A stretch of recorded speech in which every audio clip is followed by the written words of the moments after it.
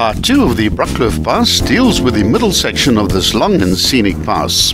If you intend driving this pass, make sure that you watch Part 1 first, which includes the Google Earth orientation clips, as well as other important information on tourism, safety, and local history.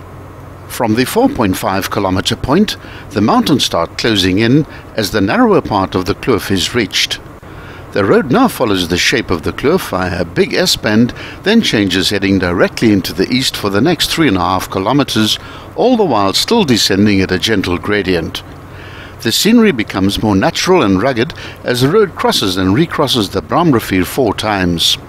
An unpublished poem by Beth Dickerson adequately describes what it's like flying over the Langkloof.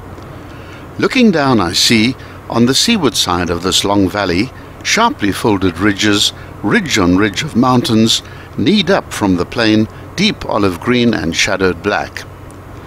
And there a master hand is drawn in outline on the crest, a pale clear line.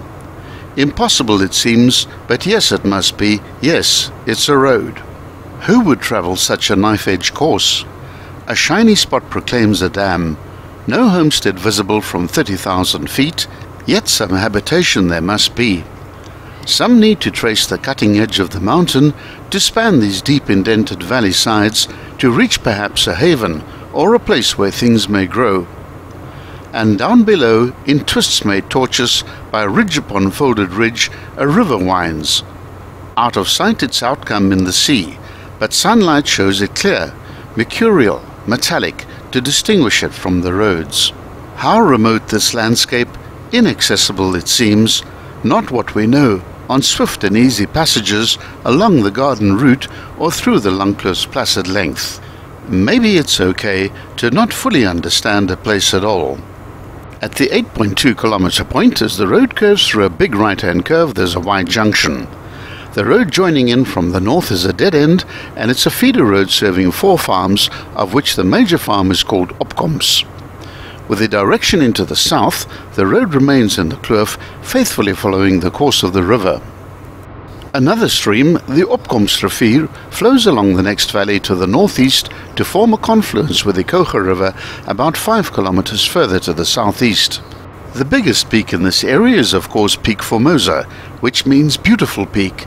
It was given its name by Manuel de Mesquita Perestrello in 1576 and is reputed to be the first European named peak in South Africa. The highest point on the Tsitsikamma range of mountains, separating the coastal national park from the northern Langkloof, Peak Formosa rises from the northern edge of the higher plateau to a height of 1,665 meters. From this point, the road begins climbing steeply up the northern side of the mountain ahead. The gradients get steep on both sides of this mountain and in wet weather it might prove quite tricky in a non-four-wheel drive vehicle.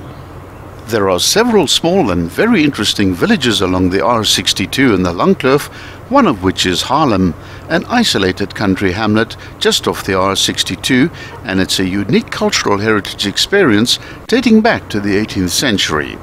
Situated between Avontuur and Misgund and nestled between the Witteberg and Kouga mountain ranges in the Langkloof Valley, Haarlem is a scenic paradise with its mountains, historic dwellings, the beautiful Lutheran church and its large agricultural erven and farms.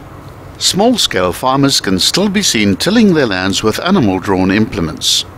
Cows, horses and donkeys roam the gravel roads freely when not in use one cannot help but feeling a sense of freedom, peace and tranquility that one can only experience away from the noise, traffic and stress associated with big city life.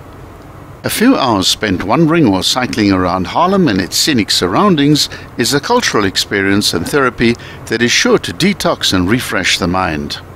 Be sure to watch part 3 and the final video in the series on the Brakkloof Pass.